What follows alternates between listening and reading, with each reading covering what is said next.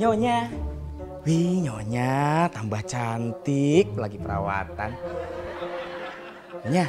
Ah, apa nih? Muji-muji. Jangan bilang ada maunya lo ya. Enggak, Nyonya. Iya, Deng. Gini, Nyonya. Aku tuh handphonenya rusak kan. Nyonya juga tahu loh handphone aku rusak. Terus rencananya hari ini aku mau beli handphone lagi, Nyonya. Biar Nyonya juga nggak cari-cariin aku loh, nggak susah gitu. Hah? Bilang minjem duit. Iya, Nyonya. Aku mau pinjem duit. Gak banyak. 500 ribu. 500 ribu? Iya. 500 ribu kan sedikit Nyonya. Buat DP. Tapi ingat ya, bulan depan gaji lo gue potong. Ih, aman Nyonya, nggak apa-apa. Ih, Wih, wih, Nyonya, handphone aku udah baru. Wih. Lagi sih. Oh, ini aku mau report. Handphoneku udah baru nih. Handphonenya baru, tapi ada satu Nyonya. Lagi. Aku nggak bisa update sosial media loh, nggak bisa update Facebook, Instagram, YouTube, video call sih yang penting buat telepon orang kampung.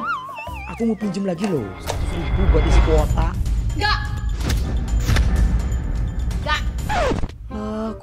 Enggak nyonya? Ih seratus ribu doang. Dikurangin lagi nggak apa-apa deh dari gaji. Baik, dengan sangat berat hati gue minjemin lagi ya. Sekali lagi ini terakhir. Tuh. Emang nyonya ini baik hati sekali. Apa? Lo bersihin nih rumah ya semuanya disapu pel ampe kinclong nih kayak muka gue.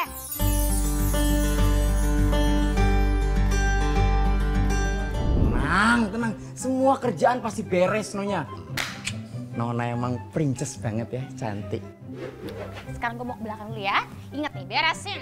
Aman Nyonya. Hihi, Dapat seratus ribu buat beli kota. Aduh, aduh, aduh, aduh, aduh. Kok malah main handphone sih? Bukannya kerja. Aduh, kalau tau kayak gini, ogah gue minjemin duit sama lu. Ya Nyonya kayak nggak pernah punya pacar baru aja, sering pegang-pegang. Berani ya? Udah nggak usah banyak alasan. Iya udah Nyonya nih nyuruh aku kerja marah-marah nih. Ya udah aku pulang kampung lah. Eh, j- jangan dong. Kok pulang kampung sih? Makanya kasih waktu aku main handphone sebentar lah. Handphone dibeliin, kuota dibeliin. Hah, pembantu zaman now. Kapan sadarnya sih lo? Makanya gue pengen banget hari ini gue gue harus ketemu sama anak gue. Diangkat dari kisah nyata, tidak ada manusia yang terbebas dari masalah. Mulai dari yang sepele hingga yang terberat. Tapi semua masalah pasti ada jalan keluarnya. Kami hadir di sini membantu memberikan solusi yang menginspirasi. Ini ayah Lutfi, ini ayah kamu yang sebenarnya ayah kamu. Semua punya cerita. Hadir setiap Senin sampai Jumat jam 2 siang di Trans TV.